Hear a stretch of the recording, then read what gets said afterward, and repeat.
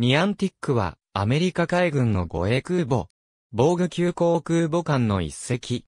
艦は、海事委任契約の元ワシントン州タコマのシアトルタコマ造船所で1943年1月5日に寄港する。1943年6月2日にレーブイ・ブランコ夫人によって浸水する。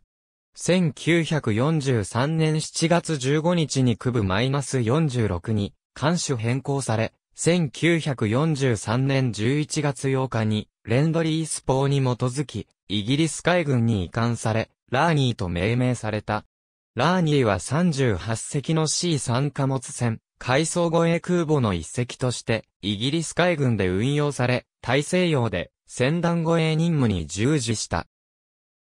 搭載航空団は、大西洋での U ボートとの戦いで、形勢逆転に寄与し、ビスケ湾に追い詰めるのを支援した。1945年の後半には、訓練艦隊の一隻として任務に従事し、1946年11月21日に、バージニア州ノーフォークで、アメリカ海軍へ返還された。1947年6月9日に、アラバマ州モービルのウォーターマンスチームシップ社に売却され、フリーズランドと改名された。